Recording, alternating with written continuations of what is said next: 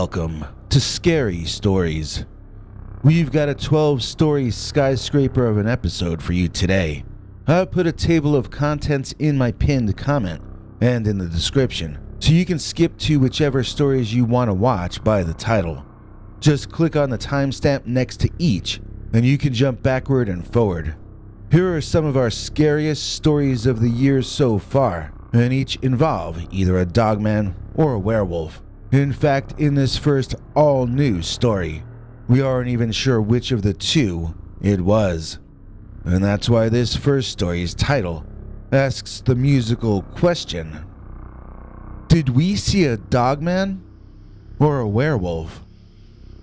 Dear Scary Stories NYC, we had a very strange experience involving one or more dogman type entities, and we're having trouble figuring out exactly what happened. It was me, my girlfriend I'll call Annette, her friend Sandy, and Sandy's boyfriend Tom.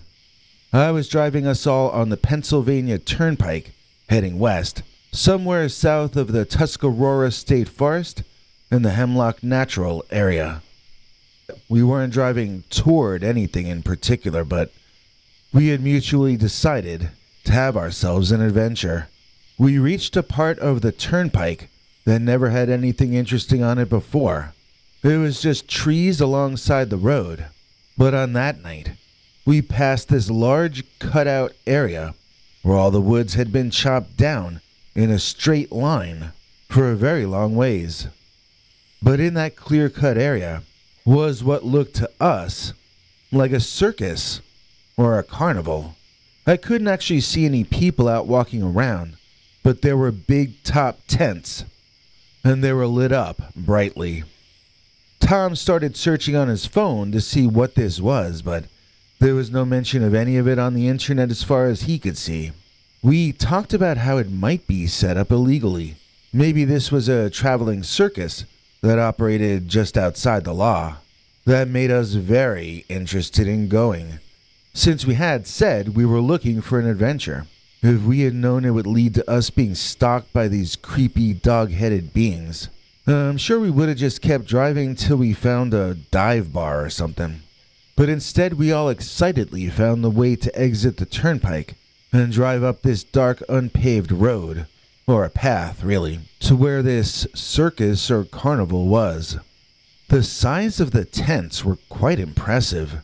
We wondered how something like this could just spring up overnight, since it was way larger than it appeared from the turnpike, and it appeared mighty large from the turnpike. We were practically the only people walking around, although I could sort of see figures moving around in the darkness at a distance. When we wandered up to the entrance of a tent, however, we found bright lights and hundreds of cheering people inside, seated around a big ring. The entire place smelled like a combination of sweat, animals, and popcorn.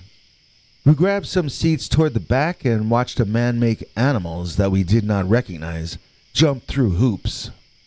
A ringmaster came out after that and spoke words that the audience responded strongly to. The four of us were asking each other, what did he just say, though? The lights went out, and then a spotlight came on in the center of the tent, revealing a dark figure huddled down on the ground. It appeared to be furry and a shade of brown. Then the figure stood up quickly, revealing himself to be a tall humanoid with the head of a wolf or a dog. Some of the audience gasped, others cheered. We gasped. I didn't even understand what that was which I was seeing. It seemed to be a man, but it seemed to be a dog. It was very furry around the head, and it had patchy fur elsewhere. The arms were mostly bare, and I could see that he was quite strong and muscular. The figure was dressed something like a barbarian in an old Conan movie. He had a necklace type garment made of something like leather, which was strapped all around him. He wore a green sash, I suppose you'd call it, to cover his privates. Other than that, and a few adornments like leather straps around his forearms, he seemed to be pretty much on display in his birthday suit. I, for one, could not see the seams of his costume, either literally or figuratively. It did not look like a costume in any way. It looked like we were watching some kind of a werewolf or dogman out there. And I wondered what kind of a circus performance a dogman would do. Well, it wasn't like anything I'd ever seen before, that's for certain. The ringmaster brought out caged animals, one by one, and released them in that tent on the floor. I could not tell you what any of those animals were, just that each one was caught by the dogman. Then a larger one was brought out for him to catch next. Because this is for YouTube, I'm not going to get into what happened after he caught each animal. Let's just say it was savage, and it was not pretty. The crowd reacted excitedly each time a chase reached its climax, but the girls were telling us guys that they wanted to leave. At first, Tom and I were saying we wanted to stay, and we reminded the girls that they had asked us for an adventure. That wolf man down there that we were watching was a better athlete than I'd ever seen before, and I was trying to figure out how he did some of the flips and the attacks that we were watching him do. He was a better fighter than Bruce Lee, and he was a big guy, too. For guys the age of me and Tom, this was better than watching Ultimate Fighting. The dogman by then was covered in the dark red liquid which had once been inside his victims. The girls were sickened, but Tom and I had our bloodlust activated by all this. That was to change quickly when they brought out the next animal, and it was the first that we clearly recognized the species of. This was a young woman in a cage, and she was screaming for help. The ringmaster opened that cage, and she ran toward the audience, pleading for us to help her. And the savage crowd was screaming in excitement. The four of us ran out of there. That place was insane. The only person who had said anything I could even understand was that poor girl we ran for a long time, looking for my car. It wasn't that the car had moved from where we had parked it. It was just more like where we parked it had moved itself. We could see figures looking like the barbarian dogman in the woods all around us. And, the, and all four of us had tears streaming down our cheeks from the brutal fear of the situation. My girlfriend kept shouting that she wanted to wake up, but the sad part was that we were all very much awake. When we found the car, I felt my heart jumping in my chest. I couldn't believe it when the engine turned over on the first try. I really thought we were never going to get out of there. As we all strapped in, though, we could see them emerging from the woods on three different sides of us. They were dogmen. Or maybe they were werewolves. They looked identical to the one we had seen performing inside. They had all their eyes locked on us, and I suddenly had three people screaming at me to please drive.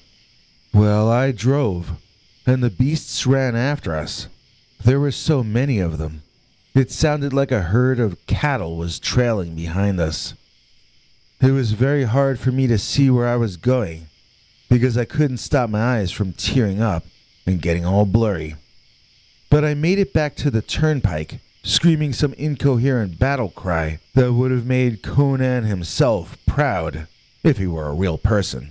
But I don't even know what that means anymore. Real person. Of course, the next morning we were all on the internet looking for any mention of that carnival. Then we found the phone number of the police for that area to report that woman that we had seen being held captive. Of course, the cops laughed at us, so Tom and I made a plan. We both decided to go back to the spot right away that day and film what we could under the daylight with our cell phones. If the police wouldn't help us, we'd just post the pics and videos online and alert the public that way. The girls wished us luck, and Tom and I set off driving westward on the Pennsylvania Turnpike. Well, we never found the spot where the circus had been. We realized we must have driven past it at some point, so we doubled back, but it wasn't anywhere to be found. We couldn't even find the clear cut area it had been inside. It wasn't like they had packed up and left overnight. It was that the clear cut area in the woods had never been cut clear. It made no sense, and I have no explanation for what happened to us. However, I do think that this might explain how people can see the dogman, and yet nobody can ever find the dogman. Maybe it isn't always there. Maybe the dogman's world and our world only overlap at certain times and in certain places. Maybe this is where the missing 411 people go. Maybe we were some of the only few who ever came back. Of course, this is all just guesswork on my part, and I don't really have any answers. I can't even answer the simplest of questions about any of this, such as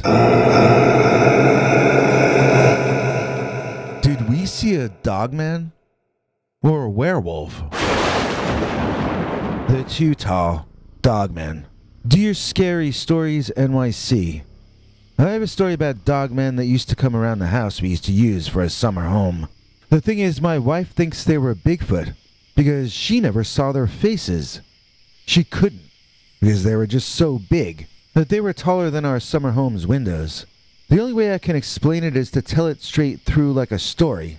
So that's what I'm gonna do. Mary and I had become successful after many years of hard work.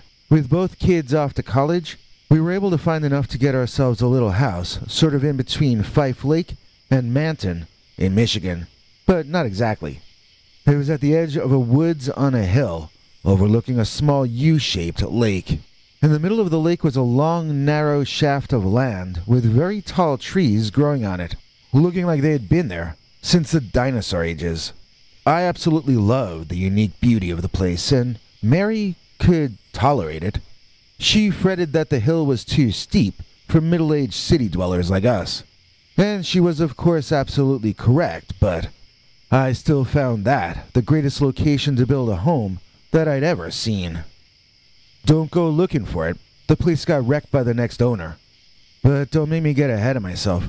This all happened when the house, or cottage really, was still standing precariously at the top of that steep, sandy, beachy hill. Cue the dogman. My wife Mary was inside the house one evening, making dinner, and I was down by the water alone, just staring at the waves or the trees, and feeling grateful to have this reward after decades of backbreaking labor. Suddenly I heard Mary scream, and I started climbing the sandy hill to get back up to her. What I learned then, which I hadn't before, was that the more panicked you get on that hill, the less effective your actions are. You're better off remaining calm and methodically climbing up.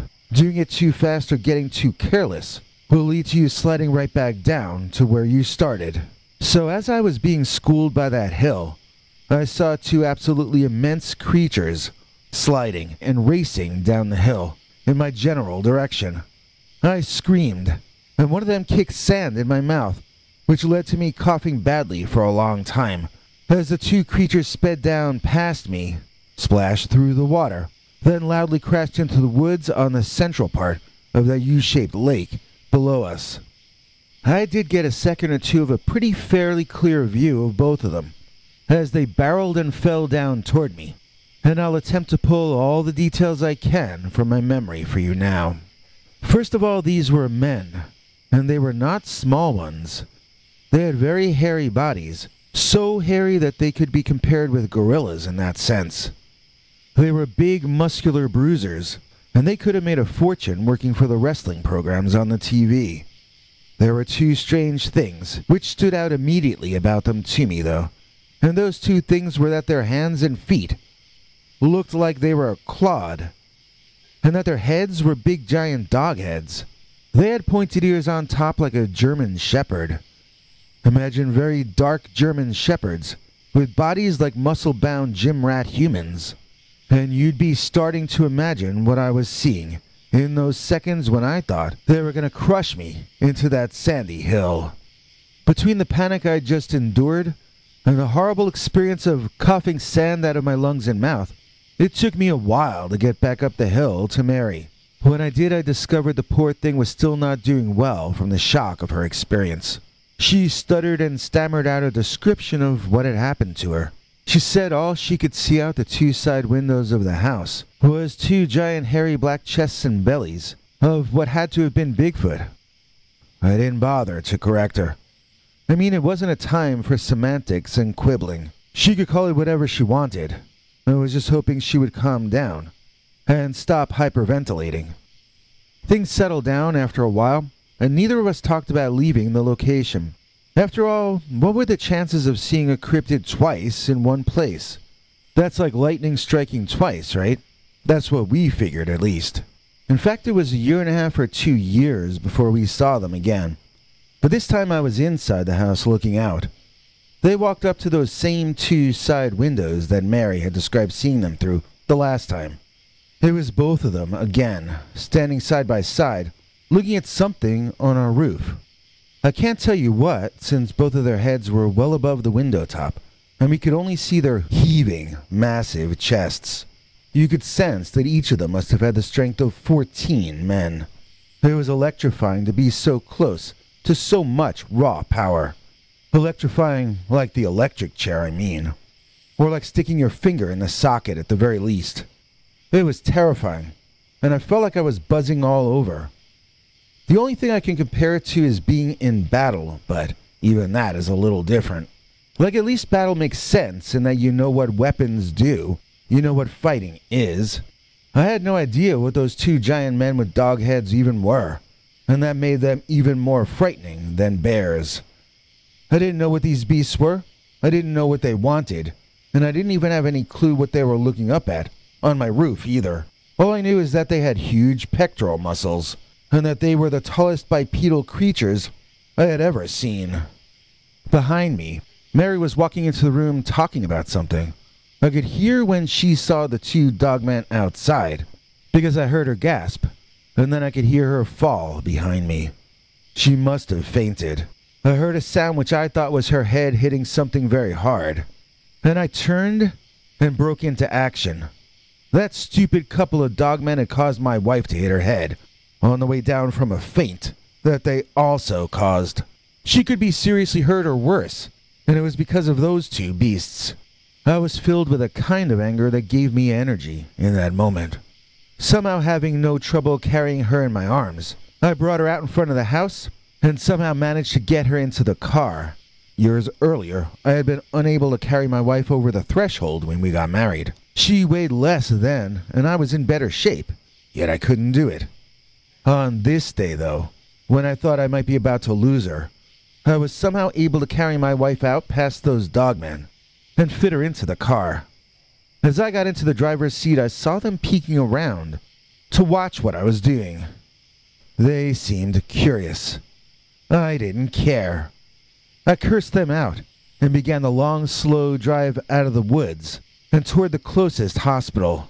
Mary seemed okay and they could find no bruises on her head at the emergency room. I dropped her at a motel, then drove back to the summer home to pick up some of our belongings.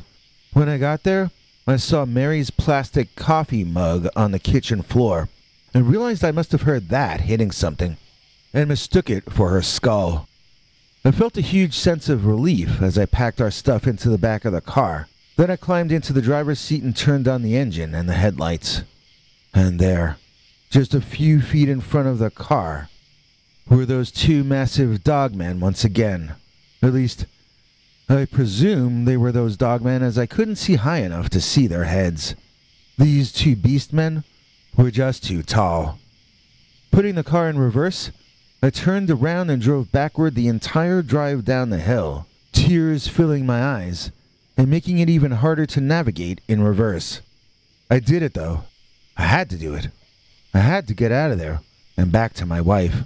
There just wasn't any other option. And so I did what I needed to do. But wow, was that the most horrible thing I ever experienced. To be entirely alone in the night and see both of them right there. I never felt so hopeless or so overmatched. I'm lucky they only seemed to want to scare me or something. Then again, if they had chased me, I wouldn't even know, since I specifically decided not to look behind me until I was on the main road again and driving forward. I know I would have lost control if I had seen them coming after me. In fact, my wife and I feel like we lost 10 years off our life from the two times we saw the two tall dogmen. Dogman versus the Mugger. Dear Scary Stories NYC, I am a 5 foot 2 woman who likes to jog early in the morning before work. I started this after my boyfriend started making fat jokes about both of us. Now he jogs with me, but it's not because he cares about his weight. No, it's because I saw a dog man ambush a guy who was trying to mug me. No, I'm not kidding. I once saw dogman at dawn on my jogging path, so let me tell you about it. First of all, I apologize in advance if I am fuzzy about when different things took place. Since the pandemic started, I have trouble remembering when things happen because it's all been one long mishmash of working from home. When I used to commute an hour each way to work five days a week, there would be events and changes that would give me the sense of time passing. Working from home, I have to tell you, I don't even seem to notice the seasons passing. So, like I said, Chubby Hubby here thought it would be hysterical to make a comment about the enlarging size of my derriere in front of my friends. Now, when my friends also thought his joke was a belly laugh riot, I realized that I was the only one who didn't think the idea of me getting heavy was a source for hilarity. So the next day I went shopping for a jogging outfit. And the next thing you knew, I was on Google Maps trying to decide on the prettiest jogging path near me. After jogging in a few different places, I found myself going back to the Crooked Lake Trail, which is actually a half hour drive away from me. I found it fun driving through the darkness to run in the woods as the sun rose and the forest slowly got lit up all around me. There really was a kind of a magic feel to it. I also initially enjoyed jogging alone, but that ended. On the dark morning, when I got spotted by an athletic mugger. Now, when I first saw him, he looked skinny to me. I thought he looked like that comedy 50s doo-wop group from the 70s, Sha Na Na. My mother used to love them. He had pale skin, black hair, and he was wearing a wife beater that showed off his narrow, skinny shoulders. Yet somehow, when he looked back at me, he did so through the eyes of a predator. He made me feel like I had just stuck my foot in a bear trap. I sped up as I passed him, but he just watched casually as I did so. I felt paranoid, so I turned around and. Oh no, he was following me. Still, he was probably just a jogger like me. I mean, why else would he have been standing on the track when I ran past him? He must have been taking a breather, that's all. Now he was back to jogging. So what? Who cares? I glanced behind me again, and I was pretty sure that he was closing the gap between us. That made my heart beat faster, and I didn't like the feeling. Still, he was taller than I was. He had longer legs, so why shouldn't he catch up to me? In fact, he should eventually pass me. It didn't make him a bad guy. It just meant he was faster than I was. I told myself I was being silly and that everything was still perfectly fine. When I could hear the guy breathing behind me, I moved to the side, giving him room to pass me. That's when I heard a creepy voice rasp out. Hey, where you going, big legs? If we were in a social situation, that would have been strike one, two, and three right there. But we weren't in society. We were in the woods. Different rules exist outside of civilization. And in the woods, animals like Sha Na over there trump tiny ladies who went to college like myself. By the way, my apologies to the real Sha Na Na. I'm sure they're all very nice people. This guy, he wasn't nice. He said one rude thing after another, and when I finally got fed up and turned to slap him, he grabbed my wrist easily out of the air. He might have been skinny, But he was fast and strong, and above all, he was very mean. He told me to give him my money and my cards, so I gave him a knee to the groin and I ran. I wasn't jogging that time, I was running. I wanted to put distance between me and that guy first, and then figure out what to do second. I hoped I had hit him hard enough that I could get out of his sight before he felt well enough to run after me. I turned around and looked behind to see that somehow he was limping after me already. Even limping, he was keeping pace with me. As he felt better and I got more tired and winded, he was going to catch up to me. I needed an act of God to save me. He was at least going to rob me. I didn't know what else might happen, but I was deeply scared in that moment. I did not see this leading to a happy ending, if you know what I mean. I looked around for help, but I knew there was never anyone in this spot at that hour. The sun was just beginning to break. People would start showing up soon, but soon wasn't going to be good enough. I wanted to scream, but I didn't know who would hear it, and I couldn't spare the breath it would take so I just kept running as fast as I could and gasping to get oxygen back into my aching lungs. I was feeling dizzy and out of breath. I leaned hard into a tree and bent over, hands on my knees, gasping desperately for air. I couldn't do anything else, not even think. If that mugger man had caught up then, I wouldn't have been able to do anything at all in resistance. I heard him about 30 feet behind me, he was chuckling. He was gloating and thanking me for finally slowing down.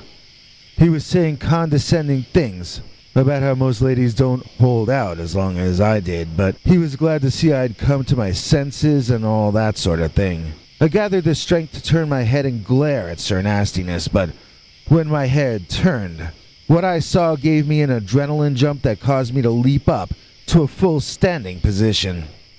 I saw it all as it happened. My random turn was timed exactly right, so I could see that creep walking toward me, a big smirk on his bully boy face. He had won, and I would be his spoils. He wasn't just walking toward me, he was strutting triumphantly.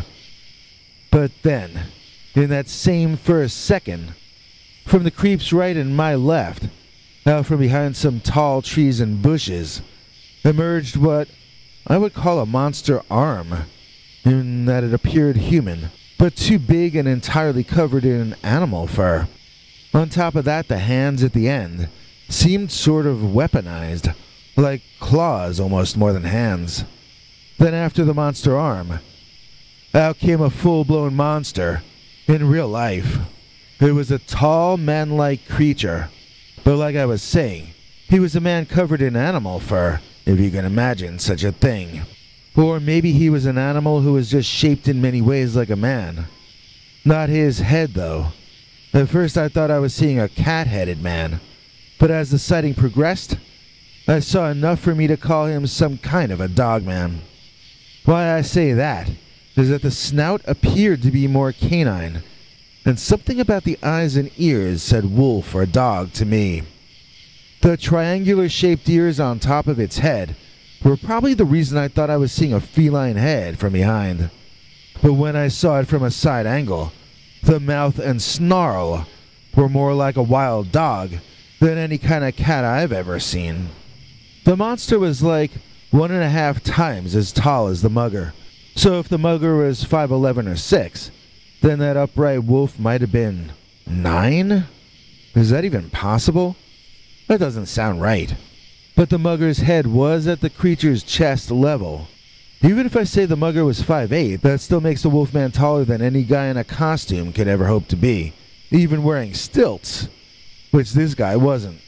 So the dogman picked the bad guy up in the air, holding him by his shoulders so that the guy's arms were held in place, but his legs were swinging wildly.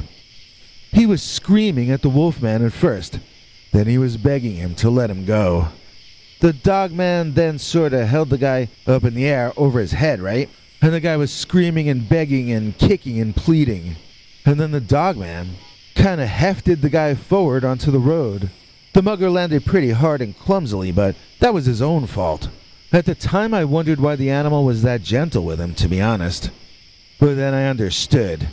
In the next few seconds, that mugger got up and ran.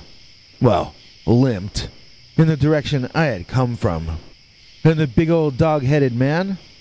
Well, he kind of smiled at me, panting, with his tongue hanging out. Then he casually dropped to all fours and started leisurely trotting after the creepy guy. The mugger kept looking over his shoulder, seeing the dog, seeing him catching up, and then that guy screeched, pathetically.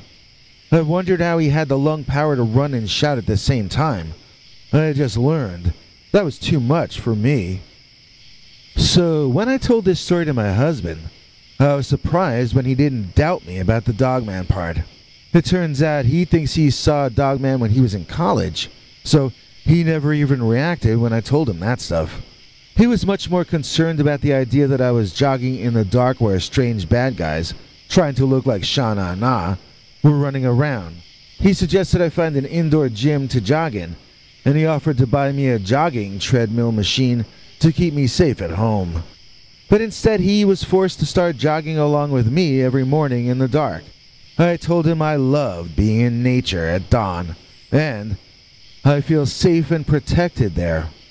After all, I was there to witness the epic battle between Dogman versus Mugger. Why do we call him Godzilla Tim? Because we all look up to him. Just like movie Godzilla is tall, Tim's a giant among men. And that's all. Please join us to thank you one of our most important supporters and channel members, Godzilla Tim Walker. Tim has been here since the beginning of the modern era of our show, when we first evolved up from little snails. Mr. Walker is one of the only reasons we're even still on the internet here in 2023, so we are truly in his debt, and we're honored to have him as our executive producer. This week, I hope Tim is enjoying our four or five days straight featuring a new, secret, and uncensored story each day for members only. We've had the Devil Dogman, this Florida snowstorm dogman that was extra creepy. And I think tonight is the one about the werewolf lumberjacks, or is that one tomorrow? In either case, those episodes are only for our channel members and PayPal club members. That dogman had human hands. Dear Scary Stories NYC, I want you to know that I have no problem accepting the possible existence of cryptids like Bigfoot or Dogman. I am a scientifically oriented person, and I think there's enough reason for science to continue to look into these topics, which are considered on the fringe. I do not believe in the supernatural, the paranormal, or anything woo woo. So that is why I find myself perplexed and annoyed at my continued inability to find any rational or logical explanation for the very creepy dogman sightings that I've been experiencing personally. They're having an effect on my sanity. They're introducing stress factors into my life that I have no means of coping with or adjusting to. The dogman who I have been witnessing does not seem like an undiscovered species of animal. It seems more like some kind of malignant force. I mean, if evil could take a form, I think it took the form of this dogman. And I think it shifts into and out of that form at will in order to push forward its sick and unhealthy agenda. Uh, what I mean to say is, I know it can't be doing that. It would be impossible for it to be a shapeshifter. Those are imaginary, magical creatures from folklore and fiction. I'm a man living in the real world. I'm too old to believe in fairy tales. And so, of course, I don't believe in werewolves.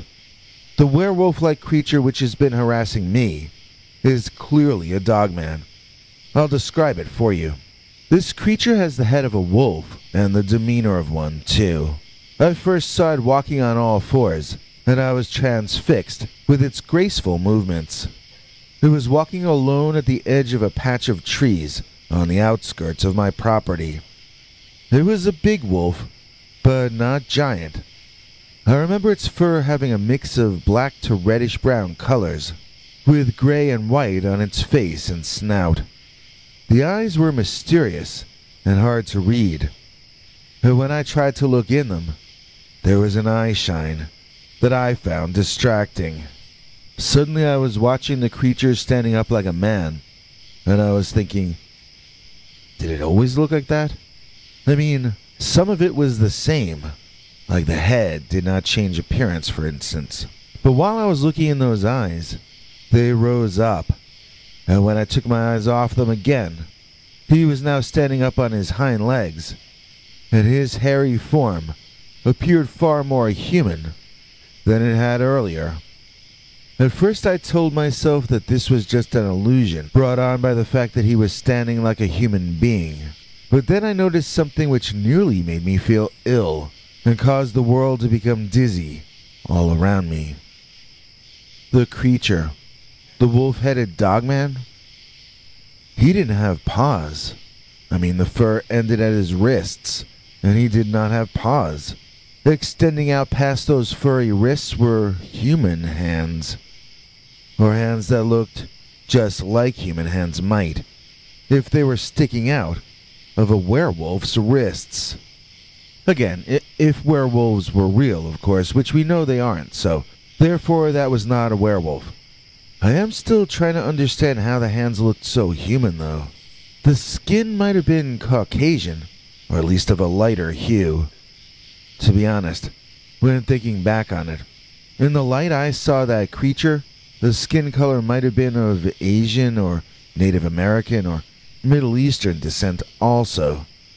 But nothing darker than cafe au lait, let's say. I feel like I might be rationally discussing the racial makeup of a hallucination. This, to me, is such a confusing subject that I am not even certain which are the important parts for me to note. If this was a figment of my imagination, then my mind is breaking down, and my focus should be on restoring my sanity. If that is in fact a real creature resembling a werewolf, then I have to ask why my senses seem to keep presenting me evidence that I am seeing a werewolf and not a dogman. Why is there more evidence suggesting that he's a shape shifting werewolf than there is suggesting that he's an undiscovered cryptid species? And then, of course, that leads us back full circle to me questioning whether I might just be insane. In which case, none of the rest of this matters in the slightest, does it? So, back to me behind my house, staring at this wolf who I could now see was not a wolf at all. Had his body changed while I was lost in the reflections dancing off his eyes? Or was it an illusion brought on by his manlike posture? As I stared into those eyes, wondering what kind of a mind was behind them staring back at me, I heard my wife scream behind me. It wasn't a scream like she was frightened, or a scream like she had just seen the Beatles score a touchdown in the World Series. It was a scream like my wife was in horrible pain. I turned around, but I couldn't see her anywhere, looking back at the upright canine I saw that he had taken the opportunity of my turning around to look for my wife to make good his escape. I don't know where he ran off to, but he was no longer there. Racing all the way back to the house, I couldn't find my wife in there anywhere. Looking out in the driveway and seeing her car missing, I remembered that she had driven into town. I called her on her cell phone anyway just to make sure she was okay, and she was. So, who had screamed? Apparently, nobody had. So if the scream was imagined by me, how much of the rest of the scene had also been a product of my imagination? I had a dream for three nights in a row that the dogman was in my bedroom, staring at my wife as she slept next to me. It was a horrible nightmare, and I'd wake up each time, flailing and trying to get him out of my room. It was beginning to concern my wife and I couldn't really blame her. The thing was, she didn't seem to really believe me that the dogman was even a thing. She didn't seem to think it was real. That was very disheartening for me, that I could tell she didn't believe me about what I had said I was experiencing. One night, I woke up to hear someone messing with the bedroom window on my wife's side of the room. I opened my eyes and looked over, and was stunned to see that the dogman was up on the roof outside that second story window. He was trying to jiggle the window from the outside to get the lock to unlock itself. Amazingly, it did seem to be turning in the way he wanted it to, and I realized he was going to succeed in opening that window. It was on my wife's side of the bed. He was coming in to stare at my wife, same as in my recurring dreams. I screamed at him to get away, and he seemed surprised that I was awake. I saw him turn and leap off the roof just as my wife woke up and looked to see me yelling at absolutely nothing outside the window. There were other incidents similar to this, and our marriage was over faster than I would have thought possible. Love can turn sour so quickly if you're being tormented by. Well, was I really being tormented by that thing? Or was that thing a manifestation of my own inner torment, as my wife's lawyer stated at the divorce hearings? The divorce established that I was insane, and that somehow my being insane was mental cruelty to my wife, and now she's my ex wife. Since she is close friends with my boss's wife, I got fired from my job because they said I was an abuser. My boss apologized to me. He said he had to do it, or he'd be in the doghouse with the missus. The doghouse, get it? Very punny. My life became a joke. About as funny as that joke. I held on to the house for a while, using some savings from my former life when I was employable. During that time, I set out to record the doings of the dogman in some way. I tried both audio and video recordings and I made a bunch of what I hoped might become YouTube videos for a new channel. I figured either I would get proof of this thing, and then people would know I wasn't crazy, or maybe the video camera would scare the dogman off, if it really is as camera shy as people say. So, of course, the dogman never came around when I had the camera on. But he didn't stop coming around. And in fact, his harassment of me got creepier and creepier. He proved to me that he no longer had any trouble at all getting into my house, and that he could do it at will. It was a nightmare, just a nightmare. One night I got up in the middle of the night, and I walked down the hall to the bathroom in the dark. When I got in the bathroom and flipped on the lights, the werewolf was in my bathroom shower. I don't mean he was looking in the window into the bathroom. I mean the creature was physically in my bathroom shower. I screamed, and then I realized I no longer needed to use that toilet. Running back to my room, the creature chased me and grabbed at my pajama top. He tore the edge of it, which was my first physical proof that he exists. I got in my room and locked it before the beast man could get in. But I knew I wasn't safe. I could hear him outside the door, making this giggling sound something like a laughing hyena might make. It sounded like he was making fun of me. It was driving me nuts, being laughed at in that way, inside my own home. I suppose I'm lucky that the beast never seemed to make a mess when he came in, and he would let himself out the same way he got in, although I never discovered either. Well, I lost the house and I moved into a small apartment in a large building.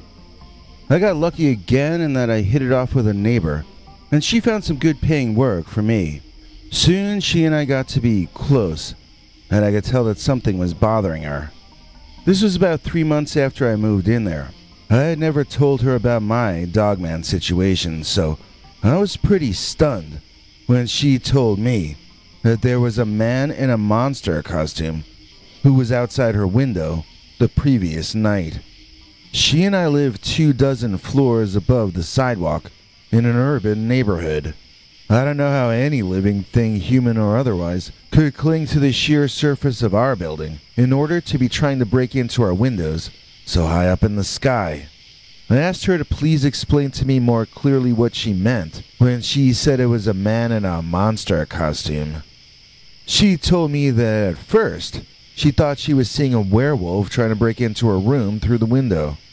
But then she could clearly see his light skinned human hands sticking out from the ends of the fur costume. She saw a dog headed furry creature with human hands outside her window, high in the sky, in the middle of the night. All of the evidence continues to mount that this is not an undiscovered cryptid species which is haunting my life. This is an intelligence of a variety that I have never experienced before. I mean, this is how I feel when my stress forces me to fantasize. I know there are no werewolf men who climb buildings to harass your woman just to drive you insane. I know werewolves don't exist. I know werewolves can't possibly harm you. I just wish someone would tell that to my werewolf.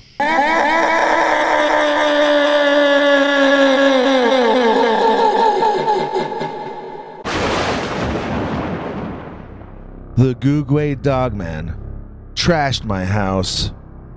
Dear Scary Stories NYC, I have a story for you that I didn't need to make up because it happened to me. It's about a kind of a dogman that I don't think you know about in New York City. We over here in the middle of the country call it a Gugwe. I don't know where the name comes from, but it means a dogman that's also like a Bigfoot in some ways. Now, the Gugwes are not the nice dogmen. They are the kind of dogmen that you call nasty things. I've never known anyone who had to deal with one of these that didn't have a foul worded nickname for that sucker. In fact, some of the most colorful monster encrypted names I've ever heard were being applied to the Gugwe dogman. To keep it PG rated, I'll just say the Gugwe is not a very nice fellow. In fact, he's kind of a jerk. You know, I once had a chance to talk to this self help guru kind of guy. It was just random while we both rode a train somewhere once. I told him about the Gugwe taking years out of my life, and he told me in return that the Gugwe was my greatest teacher. He said the Gugwe taught me that life was not what I thought it was. Life was something else entirely, and now I can see that.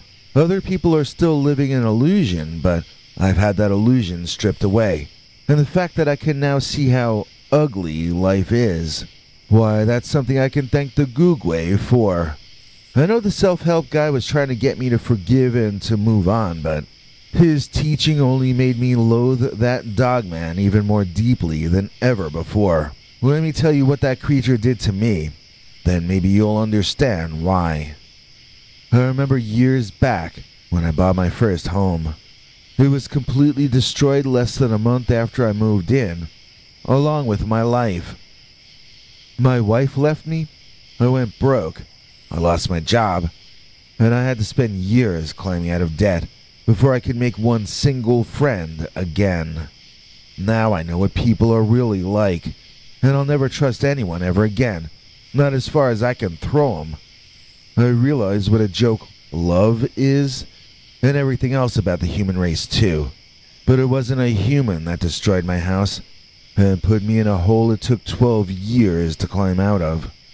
No, it was a dirty, no good, filthy dogman who destroyed my life. A dogman that I will never be able to find, never be able to get even with. Here's how it all went down. Maybe you can pick out a lesson or a moral to tack on to the end of this to make it feel like it made sense or was worth it. To me, this is just the story of my life being ruined and my ability to tolerate humans being eliminated by Satan's personal creation, the damned and demonic Dogman. My house back then was located by a swamp in southern Michigan just barely north of Indiana. I loved it because it was the most land for the least cost. My wife hated it because it was the most land for the least cost. She knew I got it at a bargain price, and she was not a bargain shopping kind of a woman. To be honest, I don't see how she and I could have ever lasted, even if my gravy train hadn't gotten cut off, because she would have always wanted more and more and more. She was all about her looks, but she knew she had a limited amount of time to get rich from those looks before they stopped getting her what she wanted. You know, I thought we were in love. which shows you that I've never been as smart as I thought I was. Now, the reason she left me was because of that Gugwe dogman, although she blames it on me. What happened was she caught me outside at night, firing on that nasty beast as it tried to get close to our house. Man, she blew up. It was all this nonsense about how I had promised her I wouldn't bring my weapon to the new house. I never said anything like that.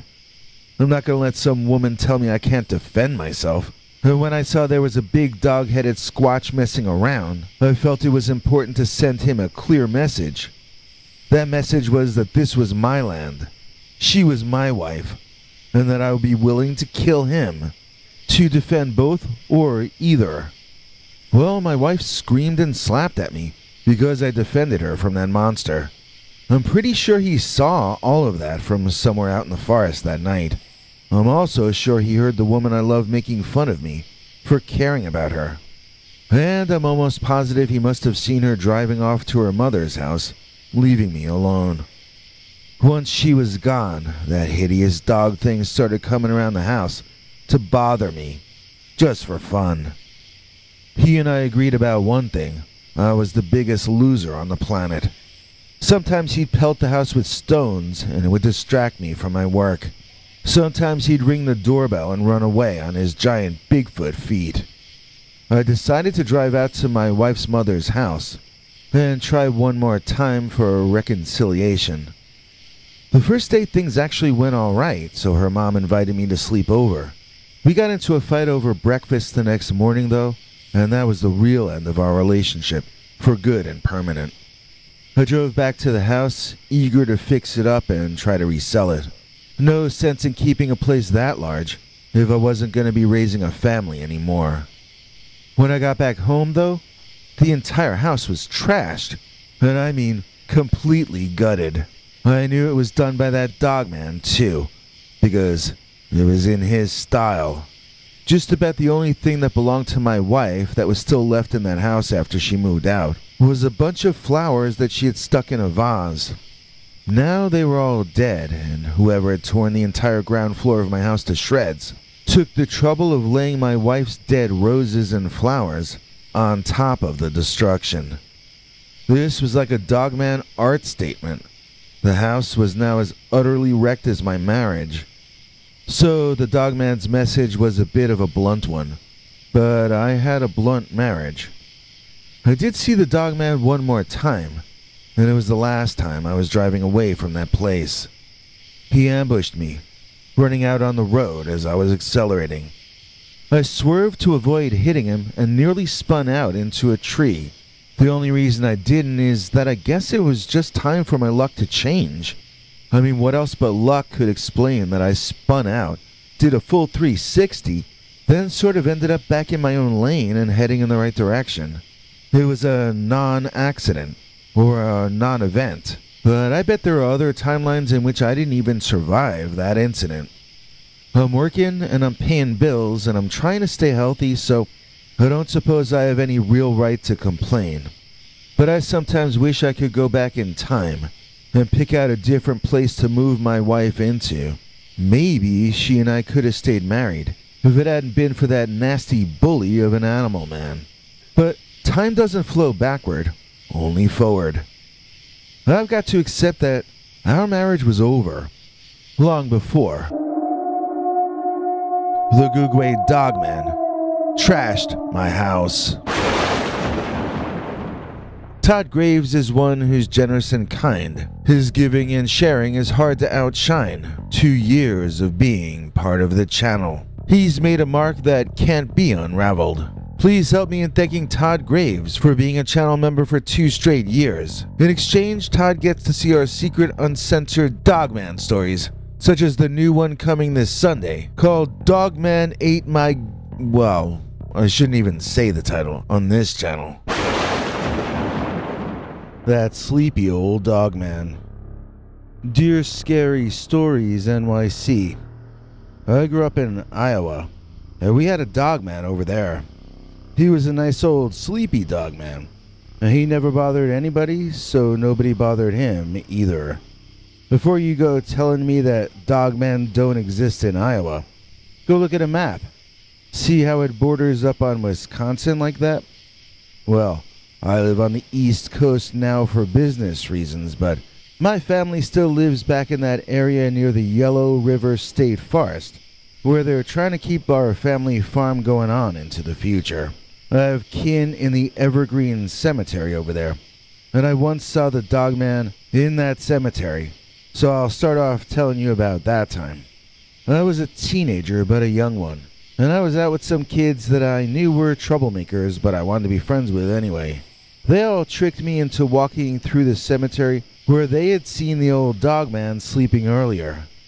I was dared to walk from the front of the place back to a certain gravestone toward the back, and I didn't know they had chosen that path, so that I would trip right over that dogman in the dark.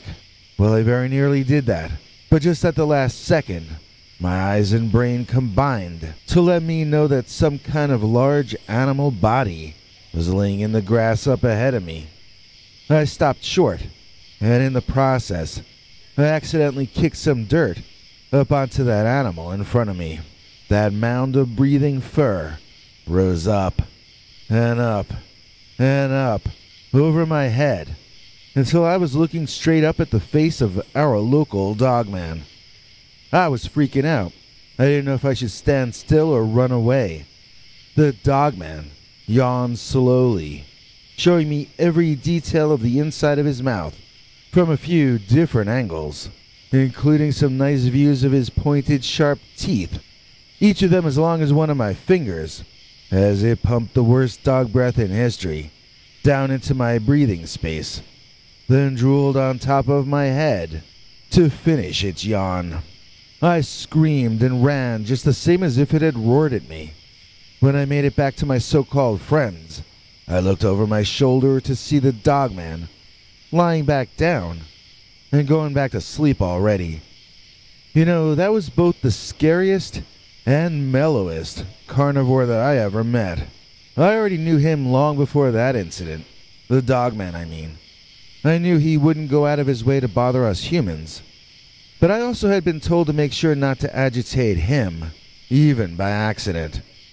My father used me one year as an advanced dogman scout for him, because the creature had taken to falling asleep in the field on the farm and being nearly undetectable until you were right up on him. Just the same as what had happened to me in the cemetery. In fact, if I hadn't been working for my dad on the farm earlier, I might have gone ahead and fallen right on top of that dogman in the cemetery later on. But with that dogman around for my entire childhood, I grew up wary of everything around me. Sort of like a friend in college told me his community became once they got invaded by some dangerous snakes that like to hide inside human communities. I mean, none of us had been harmed by the dogman, but he was so big, and his teeth and claws were dangerous weapons. He might crush someone to death just by rolling over in his sleep, if you know what I mean. It wouldn't even have to have been on purpose.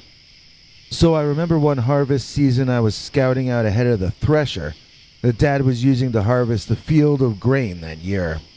I saw the dogman up ahead, sleeping in between the plants. As I was raising my arms to signal my dad, the dogman woke up from the sound of the approaching machinery.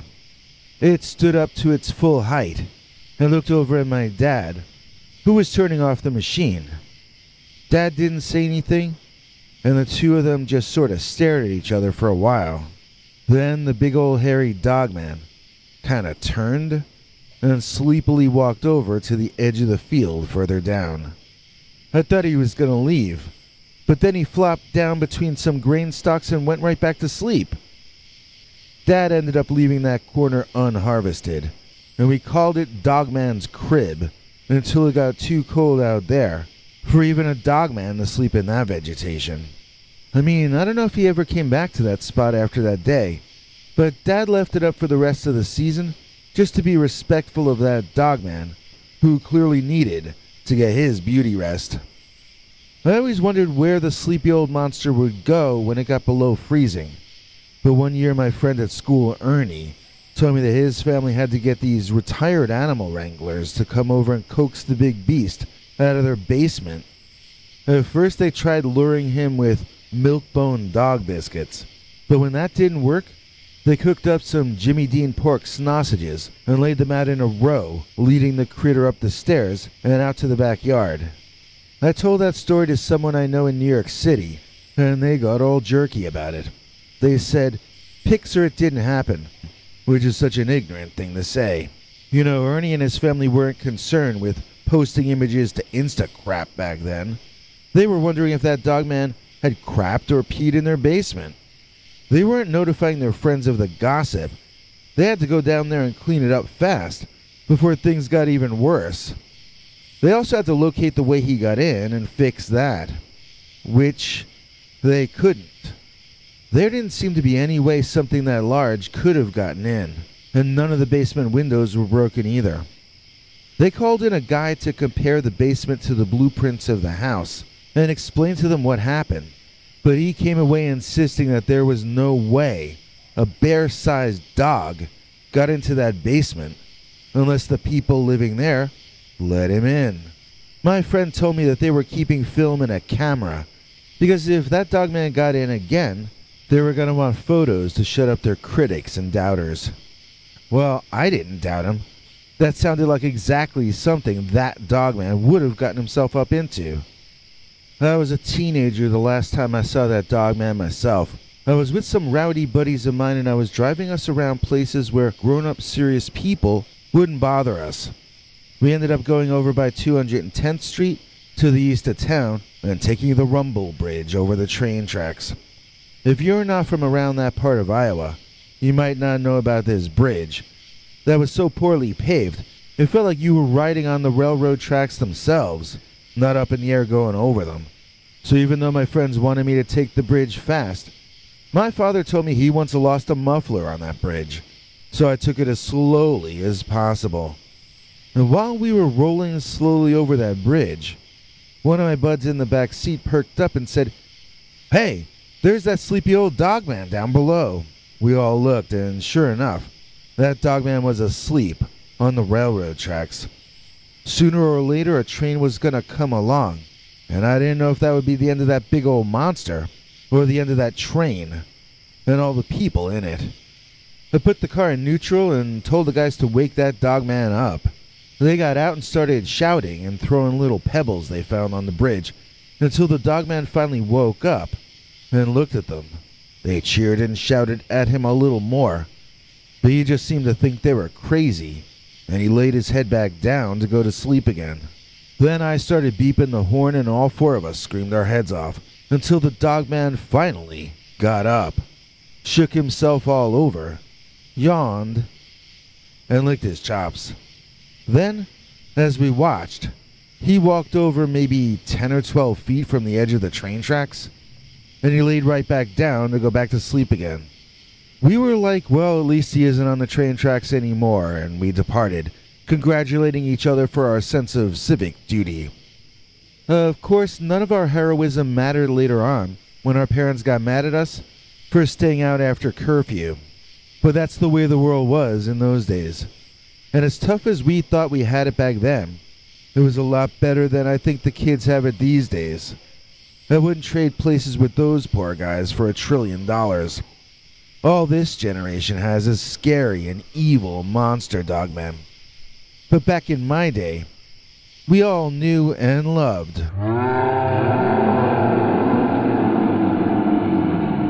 That sleepy old dogman. Mary Shabazz goes first class, top tier channel member. And don't you know, we thank her so from January through December. Please join us in thanking top tier channel member Mary Shabazz for rejoining the channel after a brief time off. We certainly missed her and it's a happy day to welcome her back. We hope Mary is enjoying the four or five days in a row of secret episodes that we've been dropping. I still haven't finished Fridays, so that might be late night or something, but we'll get it out once it's finished. And we hope you're there with such lovely people as Mary Shabazz to see all these new secret shows. Happy Valentine's Day, and welcome to our Valentine's Day Dogman stories. You know, a lot of the emails I get sent are too short for me to figure out how to get an episode out of them, or even a half or a third of an episode. A lot of them go in the romance folder, as there are a number of writers presenting as female who claim to have had relationships with people who they say transform into werewolves. Whether this happens to them in their real lives or in their romantic fantasies, I can't tell you, but they claim these things to have been events that happened to them IRL. Well, I'm not gonna call them liars. Are you? So, this episode is going to be a collection of our shorter email submissions, adapted by me for the show.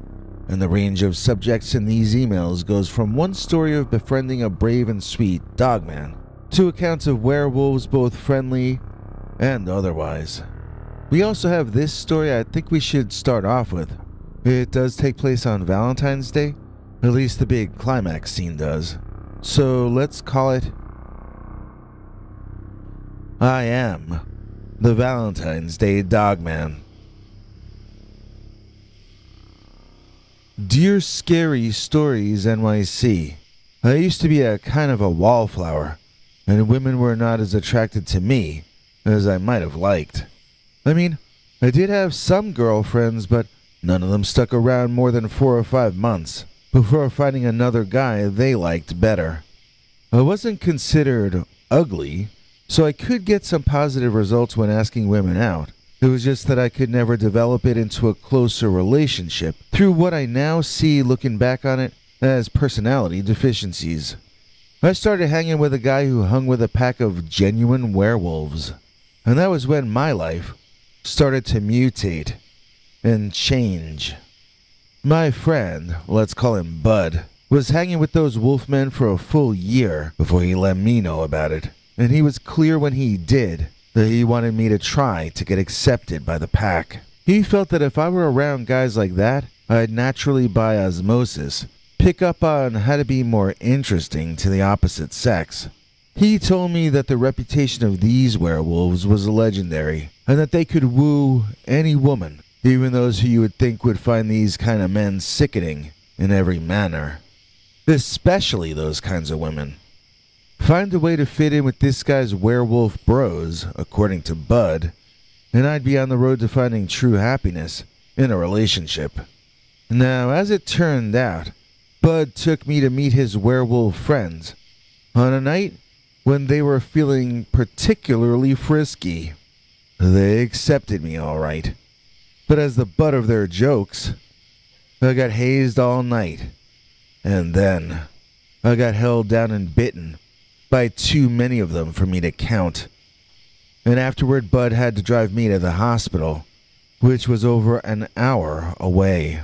By the time he got me there, though, I felt fine. The doctors and nurses were stunned as they removed my red, stained, ruined clothing to discover that I did not have a single wound on my body underneath those clothes. I walked out of there under my own power, wearing my bloody jeans and an oversized t shirt with the logo of the hospital on it. It seemed to have been made for pregnant ladies, but I'm not sure. I just knew that I never felt so energized before when I had thought I was gonna croak just an hour earlier. I thought it was the sense of relief that the attack on me had been faked. You know, that was how my mind explained the sudden healing of all those wounds. I decided that the guys had poured fake blood all over me, and that I had only thought that I was being bitten by them. Somehow, I figured it was all staged, like GWAR, and I felt so alive, knowing that everything was fine after all. When Bud and I stepped outside under the moon, though, I felt instantly different. I started to change. I'm not going to say that I transformed into a werewolf that night, because it didn't fully happen. But enough started to happen that Bud blurted out, Oh my God, you're becoming one of them. It was obvious to him what was happening, even if this was only a foreshock of what was to come. The first time I truly became a werewolf was on Valentine's Day, or night rather. I don't remember the year, but I definitely remember that it was Valentine's Day, and it was my third date with a girl I'm gonna call Rhonda. We had a lot of fun on our first two dates, but on the third, Rhonda wanted to go for a walk in the woods at sunset. And I thought that was kind of weird, and it made me nervous. I wanted to be indoors because the werewolf thing happened to me far less in the early days when I stayed indoors. That isn't true anymore, but in either case, Rhonda dragged me out under the moon, which she told me was romantic. It wasn't romantic to me. I looked up in terror at it, and sure enough, I could feel its rays beginning to have an effect on me. I was going to lose my girlfriend. I was maybe even going to eat her alive. This was the worst thing that could happen, and it was happening. In front of Rhonda, for the first time, I burst fully into my hairy, monstrous werewolf form in all its vicious and animalistic glory. I looked around for the woman, whose name was already fading from my mind. I knew that if she ran, I would chase. I wanted prey to chase. I wanted something living to eat. I was the werewolf, and through animal eyes, I looked to my right, and I saw the human female. She had changed. Her eyes glowed an amber hue. She was not prey. Not at all. She was like me. She took hold of me, and I understood that we were to be mated. And so it was, on Valentine's Day night, that we joined together in both forms, as male and female, husband and wife. And ever since our storybook marriage, I've gone back to being a wallflower. Sure, now I've got a beautiful wife, but she bosses me and the kids around. You can't argue with her. Have you ever tried arguing with a mother werewolf? My advice is don't. You're not gonna win. And you'd be surprised how much you can lose.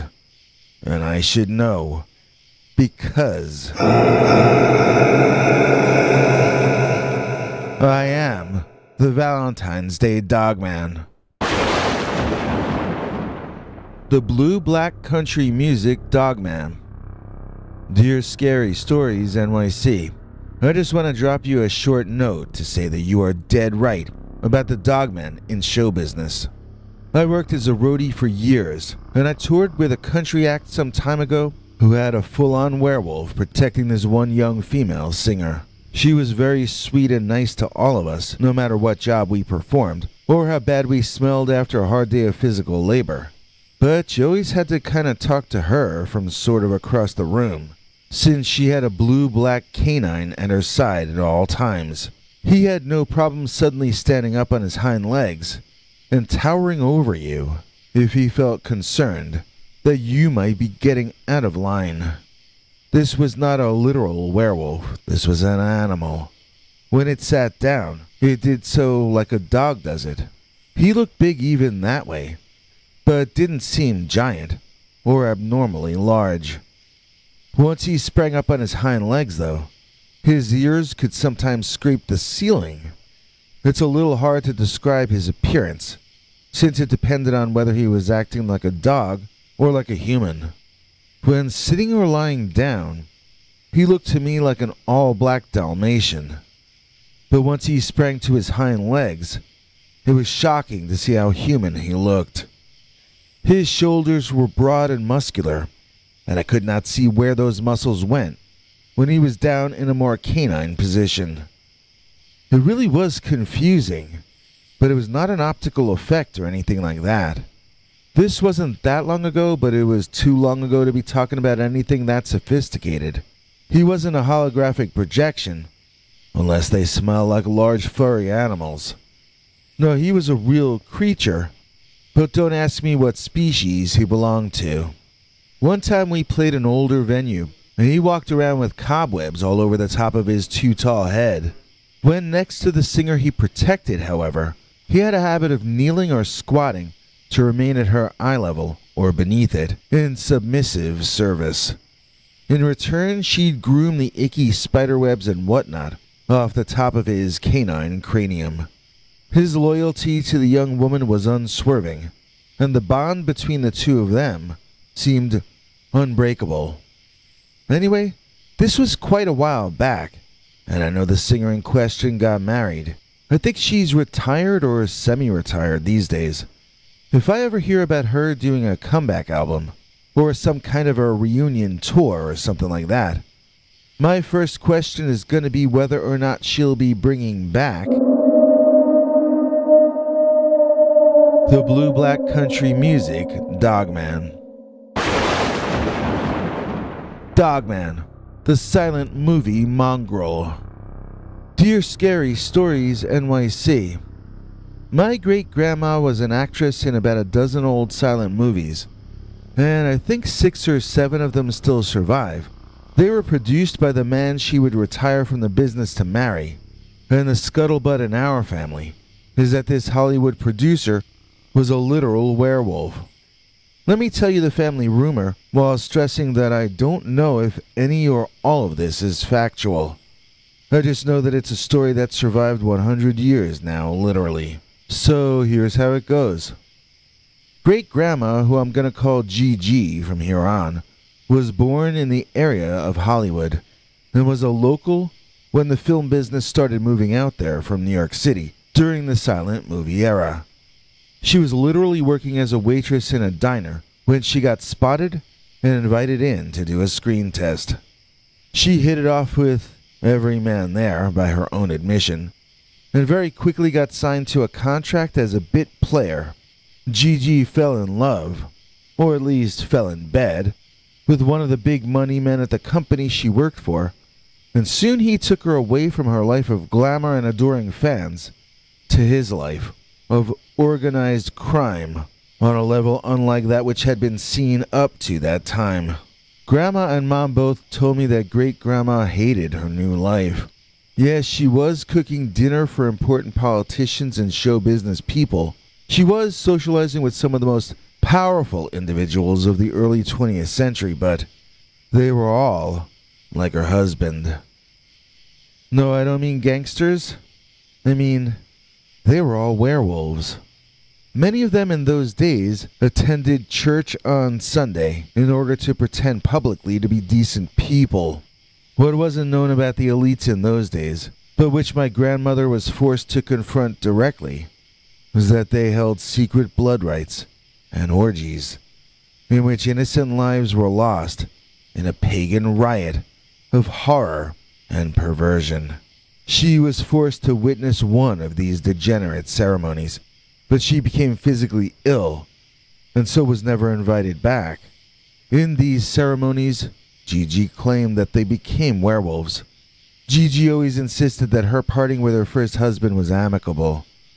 He left her a small chunk of change, which she referred to as her dowry, for her second husband. Since she was still young, she did remarry and she became the matriarch of my family. The movie mongrel remarried also and had a son very quickly with the second wife. The thing is, that child looked far more like my great grandmother than she did like that man's second wife. I have not been able to look up what happened to her online, but I wonder if her offspring are big shots in the business. And I wonder if we did a DNA test if we would find out that we were related or not. Maybe we'd all be only six degrees of separation from. Dogman, the silent movie mongrel. Could our baby be born a werewolf? Dear Scary Stories NYC, my wife and I are expecting our first child and my mother decided to tell me this old family story, so now we're concerned. Apparently, it's possible that my family carries lycanthropy as a recessive trait. Translated into normal English, that means that there might be a chance that any children I have might carry the trait and be born a werewolf. We have no idea how to find a doctor who knows about werewolfism let alone believes that it could be real. So we don't know what to do. In the meantime, we're trying to find out as much as we can about my family's history. If we can debunk or disprove this narrative, that would actually be a great relief. Well, I have nothing against Eddie Munster. I had never planned on raising a little wolfman. If the narrative or family legend proves to be airtight legally, we might hire someone to write a book on the subject and try to option it as either a documentary or a dramatic adaptation. In the meantime, what I can tell you is this. Way back in the late 1800s and the early 1900s, in the days of Gallagher and Shean, back when the Three Stooges performed on stage under the name Ted Healy and his Southern Gentlemen, there was an important booker and programmer in the Midwest who most certainly was not always human. He spent part of his time as a werewolf, and he wasn't too shy to brag about it either. Not privately. Not to his underlings, at least. One newspaper man is supposed to have joked a bit too openly about the important man's werewolfism in print, and that was the end of that guy's gossip column, as well as his life. You don't mess around with mobsters, and you don't mess around with werewolves. So why did that guy think he could make jokes about a werewolf mobster? The thing is, my ancestor got pregnant while on tour, and she had to leave. She quickly married her boyfriend from back home, but it seems impossible that he could have been the actual father. She had been performing in vaudeville as a singer, and had performed at three different venues in the Midwest, in which the notorious werewolf promoter I've been discussing had a stake in the ownership. She would have been working for the werewolf, performing at his venues, when she got pregnant. This is one of the reasons that guy was called notorious, you know. He was supposed to have fathered half the next generation of show business, while never taking responsibility for the raising of any of them. I do suppose that eventually we will have the DNA information we need to answer all of my questions. But I am enjoying watching as the new information comes out and adds to what we already know. Did one of my ancestors become impregnated by a real life show business werewolf? And if so,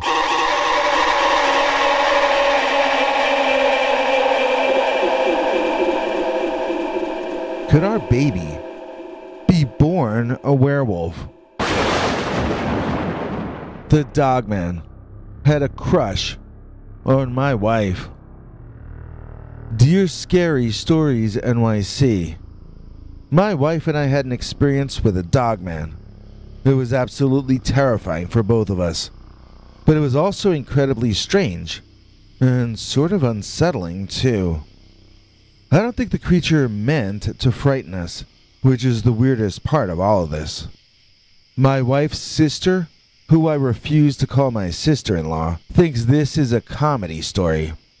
She says you should use it on your Valentine's Day episode because it's when my wife met a male who really appreciates her, unlike me.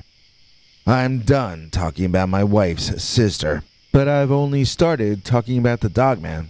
So this is not a Valentine's story at all, since it happened in December, not February. My wife, who I will call my wife, to remind her sister that she chose to be related to me, so therefore I should be respected. Anyway, my wife and I had been chopping down a fir tree alongside the highway to bring home with us and use as a Christmas tree that year. We were carrying it back to the car to strap it on top when this really, really, really tall, fur covered animal came out of the woods across the highway from us. It looked like a wolf head on top of a super tall bear, standing upright on legs far too tall for a bear. It was orange, kind of like some foxes I've seen, and it moved in a weird slinky way, sort of like a ferret. But this was a giant creature, like 10 feet tall minimum. It looked very skinny, but it was way taller than a person. And those legs looked long and muscular enough that I bet it could probably run faster than I could. The weirdest thing about this upright beast man or dog man was that he was carrying a big, heart shaped metal tree ornament in front of him. It was like he wanted to put it on our Christmas tree or something. He had this shy posture, with his head shrunk down into his shoulders and this timid look on his face. He walked all the way around to behind us, and I'm telling you, my heart was beating out of my chest. If that thing decided to eat us alive, then we were already eaten alive. It was too big to consider fighting, and each one of its teeth and claws was a better weapon than I had on me at that moment.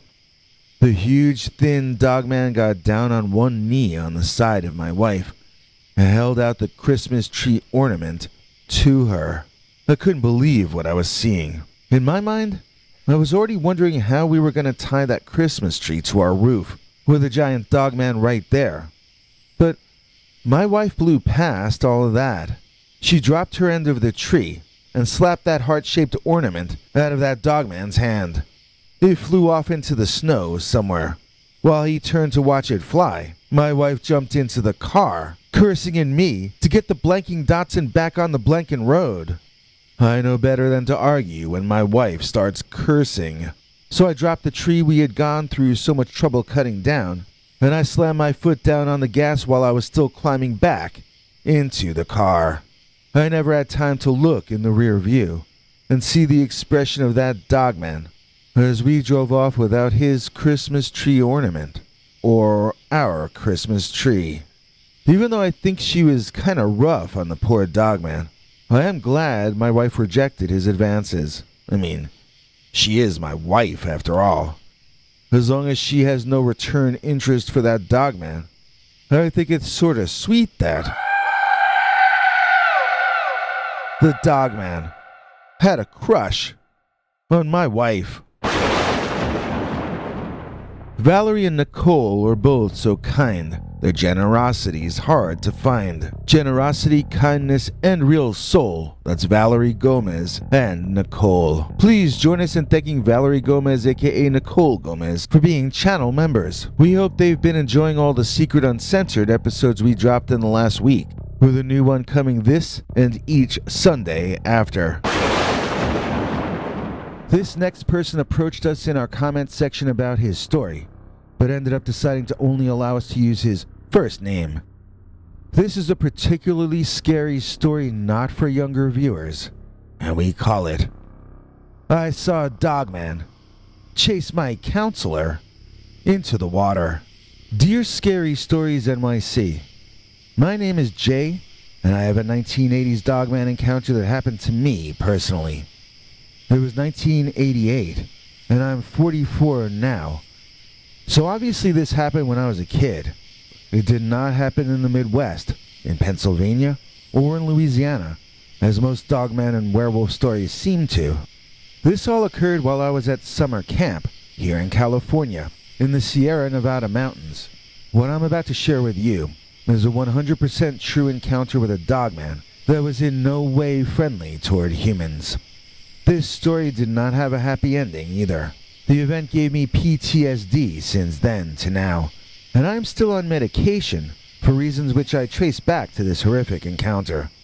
If you want a story of a dogman that can tolerate humanity, then this is not the one for you. Nevertheless, this is true how I remember it, so if you want a bit of reality, then strap in and let's go. One day I got the chance to go out on a rowboat with two other guys and our camp counselor, who was going to teach us how to row and handle the boat. We had never gotten to do that before, and so it was actually really exciting for us at that age. We were having a blast learning how to operate the rowboat. Each of us boys got a chance to learn. It was a really fun time that I probably would have forgotten about years ago if it weren't for what was about to happen next. One of the boys asked our counselor if we could go across the lake to where all of the huge cedar trees were. He agreed, and we headed toward the other side. When we finally made it to the shore, we docked the boat, and our counselor told us to stay put and not leave that area by the boat. When we asked why, he told us that he had to relieve himself and that he would be right back. Then he ran into the cedar trees and disappeared from our view. So we were having a pretty good time as we were throwing rocks over the boat and into the lake. I remember how thick the forest was around us. It was so thick that the trees blocked out the sun, and it was pretty dark there, even on that sunny afternoon. It was kind of a little creepier than I think any of us had expected before we rode over to that place. The longer the counselor was gone, the more uncomfortable I began to feel. I remember starting to be a little scared as we were looking into the tree line. Then we heard our counselor screaming and shouting. He sounded like he was in pain. When we heard that, we jumped back into the boat, although I don't know what we were planning on doing next. We watched our counselor run out of the woods toward our boat, and for a second, I felt both a sense of relief that he was returning and a growing fear because of the horrified look on his face and the fact that he was racing toward us at his top speed. It turned to pure fear when a creature burst out of the woods behind him. Now we could see what he was trying to get away from, and this is where we get to the source of my worst childhood trauma. This is the part that's hardest for me to talk about, but it's also the part I most need to get off my chest. If you have children in the room, maybe listen to the rest of this later. Remember, this was a pretty horrible thing for a kid to have to see, or even to hear about. So, what was running very closely behind our counselor was what looked like what we would now call a dogman, or a werewolf. It was much larger than any human. Judging purely by my memory, I would guess the creature was about 11 feet tall, as he was about twice the height of our counselor. It was a nightmare image. For me, personally, it still is an image from a waking nightmare, one that continues to torment me to this day. Our counselor did not reach the boat in time. The huge, fast, upright running canine tackled the poor man down into the water. I remember looking up at the creature when it was only two feet from our boat, causing waves that rocked us up and down and to every side. That was the moment we were so close that we could smell it. The werewolf was thrashing our counselor around in the water. After the first few seconds, I couldn't even see him through the splashing and the foam, but each time he came up for air, we could hear him. The dogman slash werewolf did not look at us. I guess probably because it was too focused on doing what it was doing to our poor counselor. All of us boys were crying, but one of us grabbed an oar. I grabbed the other one and then we started to row the boat away from the scene. As the third guy screamed to us that we had to save the counselor. I figured that our counselor was a goner, because we could not hear him screaming anymore as we were rowing away. I was convinced that we were all going to be next, so I rowed and rowed, and I tried not to look toward that monster any longer. The other two told me they saw the creature dragging our counselor back into the woods and I felt a little ashamed to be happy that the creature was not coming after us. When we got back to the side of the lake that our camp was on, all three of us got out of the boat crying and screaming for help. We got the attention of a few camp staff, and they came running to us. I remember that everything that happened came spilling out through the tears. I told them that a werewolf killed our counselor, I was too young to know that I probably should have lied about that part. But I guess the things that happened next taught me about that. The counselors called the authorities, and when they arrived a few hours later, a search party was formed from rangers and the sheriff, or whoever they were, in their uniforms. They went across the lake to see if our counselor was still alive. An old guy in a suit took each of us boys aside and began to ask us questions about what happened. Actually, I guess he was probably the same age I am now, but to me as a kid, he seemed old. The suited man never told us his name or what his job was. All he did was tell us we were safe now, and that he was one of the good guys. I don't know if he was from a local authority or a federal one or what. He asked us each to describe in full detail what the animal we saw looked like, and what it sounded like. I told him that it did not make one sound while it was attacking the counselor, and the others told me they both said the same thing to him. After all of the questions, the man told us to never tell anybody what happened, not even our family or parents. He never tried to tell us that we were mistaken. He never said it didn't happen. He didn't even try to tell us that what we saw was a bear. He kind of implied that, yup, we saw what we saw, but for some reason he never explained. we would get in trouble if we talked about it. It didn't make sense to me to get in trouble for telling the truth, but I did what adults told me when I was that age. Then the man in the suit left the camp while the sheriffs and rangers were still searching for the counselor's body. When I think back on this story from the 21st century, I'm kind of stunned that all of us weren't immediately sent home and given grief counseling and so forth. No, this was the late 80s, so we were just expected to go back to camp and act as though things were normal. For the remainder of my time at summer camp that year, I was terrified, and I did not speak. Even after I got home, I was still in too much shock to talk. I think it lasted for almost three months. My parents took me to several different kinds of doctors to no effect. I did not say a single word to anybody until later that year. I think it just needed to take its time to wear off. Once I was talking and back to school in the fall, my mom took me aside and asked me privately to tell her what happened back at camp. Apparently, the owners of that place had either never informed her of anything, or guess she might not have trusted the answers she was given by them.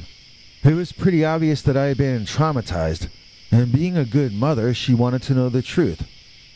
I was a kid, though, and I was afraid to get in trouble from that man in the suit. He had told me not to let anyone know about the dogman, so I lied to my own mother, and I told her that a very large bear broke into our cabin while at camp. She seemed to believe my story, so she never brought the topic up again. To this day, I have never said anything about what I saw that day while at the summer camp. You are the only person that I've ever told this encounter to. Thank you for reading this, and please feel free to share this encounter on your channel. I have been listening to your Dogman stories for two years now, and I've only missed a few. My real name is Jay, and.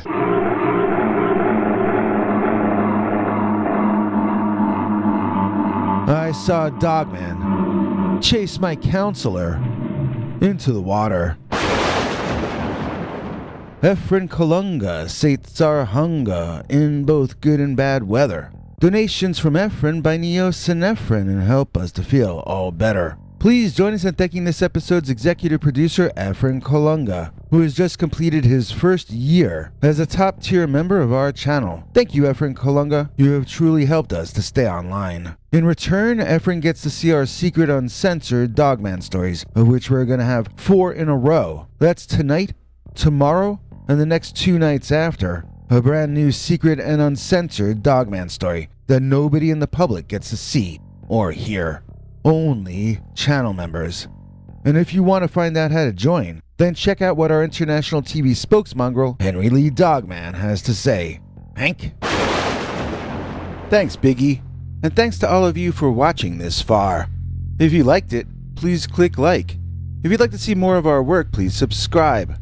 And also click that bell icon if you'd like to be notified when we put out a new episode. To become an executive producer, you can donate to us through the thanks button under each of our videos or through our paypal.me slash peterbernard209 page. To receive cool perks like secret uncensored Dogman episodes far too wild to ever run on this channel, you can become a YouTube channel member by clicking the join button.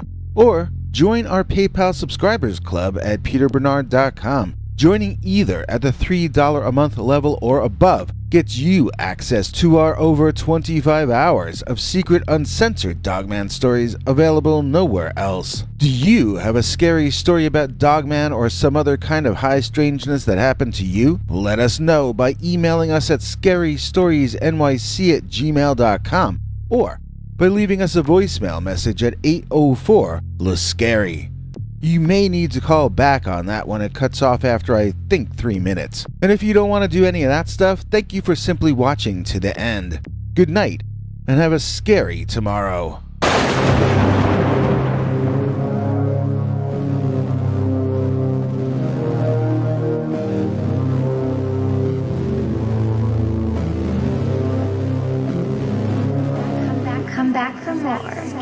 Scary stories.